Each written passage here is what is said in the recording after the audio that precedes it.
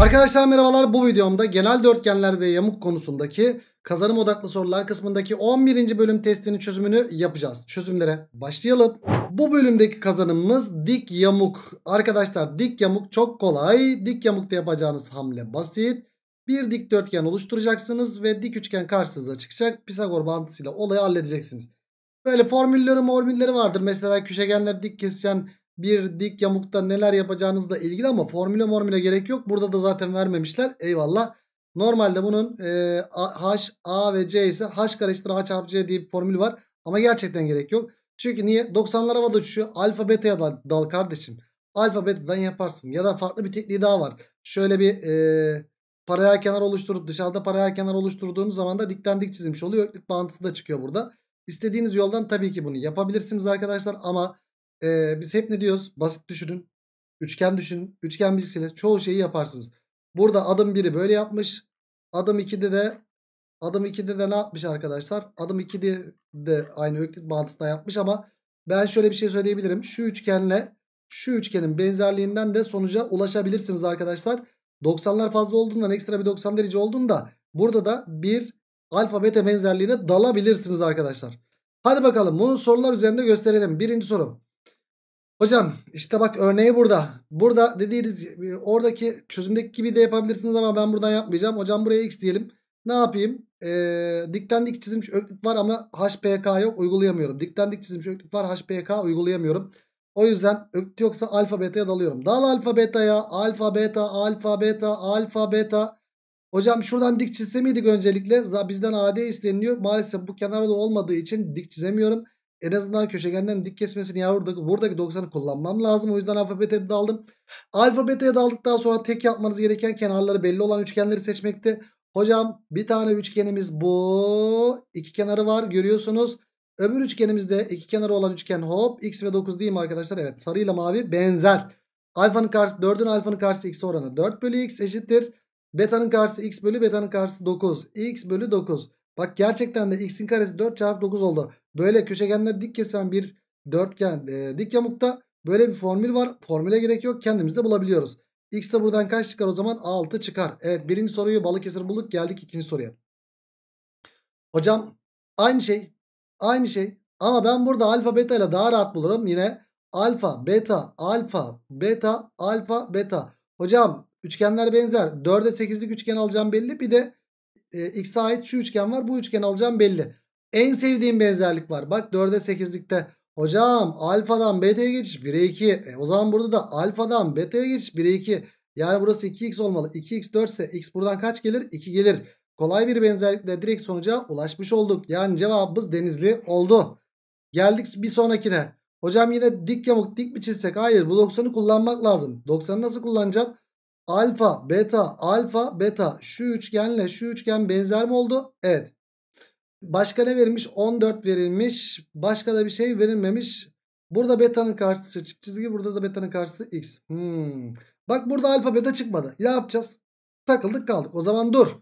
Öyle her zaman doğru da düşünemeyebiliriz tabii ki.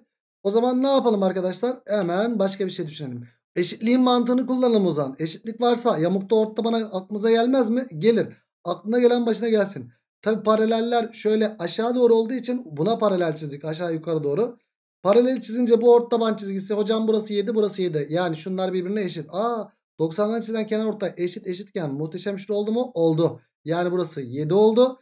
E burada da bir ortaban çizgisi x artı 5 bölü 2 eşittir 7 olduğundan x artı 5 eşittir 14 olacağından x'i de buradan kaç buluruz? 9 buluruz arkadaşlar.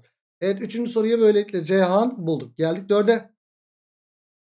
Hocam dik yamuk kenarlar var. İşte ne yapacaksın? Dikdörtgenle hop şurayı oluşturalım arkadaşlar. Beşgen 5, 12 iken 12. Hocam buraya ne kaldı? 9. 9, 12 ne üçgeni? 15 üçgeni. Hocam burası da 15 eşit olduğundan dolayı. E buradaki dik yamukta da şöyle bir dik çizecek, dikdörtgen oluşturacak olursak arkadaşım. Hop şöyle 7 iken 7, 15 iken 15. Tamamı 15 olduğundan burası 8, 8, 15, 17 üçgeninden cevabı 17 olarak buluruz. Yani dördüncü sorunun cevabı böylelikle Edremit oldu. Geldik 5'e. Hocam hem açı ortay hem yükseklik aklımıza ne geldi? İkiz kenar. Yani şu kenarla şu kenar birbirine eşit. E sonra ne yapacağız? Hocam dik yamukta kenarlar belli bir tanesi eksikse. Hop dikdörtgen oluşturuyoruz kardeşim. Oluşturduk şöyle 90 90 x ise x 8 ise 8. 8 10 ne üçgeni 6. E tamamı 10 olduğundan buraya kaç kaldı? 4 kaldı. Evet 5. soru denizli oldu. Geldik 6. soruya. Şimdi 24 verilmiş 13 verilmiş bir de farkları verilmiş burada. Yani sen buraya bir A dersen CD'yi atsan öbür tarafa AB'de e, A artı 10 mu oluyor? Evet. Burası A artı 10. Burası kaçmış arkadaşlar? A. Hocam dik yamuk ne yapacağız? Şöyle dikdörtgeni çizsek. Hop şöyle dikdörtgeni çizsek arkadaşım. 90 derece. A iken A e, tamamı A artı 10'du 10. 24 iken 24. 10 ve 24. Hocam 5'in 2 katı. Hocam 12'nin 2 katı. Hocam o zaman burası 12'nin 2 katıysa burası da 5, 12, 13 üçgenden 13'ün 2 katı olacak. Yani 26 oldu. Aa hocam şu üçgene bakalım şimdi. Açı soruluyor. Bak 90'ın karşısı 26 iken hangi açının karşısı 13'tür? Tabii ki 30'un. 30, 60, 90 üçgeni özel açısı çıktı arkadaşlar. Cevabımız böylelikle Akçay çıktı 6. soruda. Geldik 7'ye. Hocam köşegenler dik keseceğin h kare şu şu şu çarpı şu diyebilirsiniz tabii ki. Ama sabahtır yapıyoruz zaten. Yani daha ne yapacağız? Dal kardeşim alfa beta'ya alfa beta alfa beta alfa beta. Ben benzerlikçiyim kardeşim. Alan ABCD isteniyor. H'ı bulmam lazım.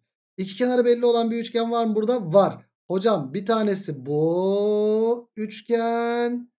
Değil mi? İki kenarı belli olan üçgenlerden biri. H'ı da kenardan seçmeliyiz çünkü H soruluyor bize ondan dolayı. Bir de şu üçgen arkadaşlar iki kenarı var görüyorsunuz. Hocam niye bunu seçmedik? İki kenar var mı kardeşim? Yok. İki kenarı belli olan üçgeni seçeceksin. Hadi benzerliği uygulayalım. Alfanın karşısı 7 eksi kök 13. 7 eksi kök 13 bölü. Alfanın karşısı h eşittir. Hocam burada betanın karşısı h bölü. Maviden başlamıştık betanın karşısı.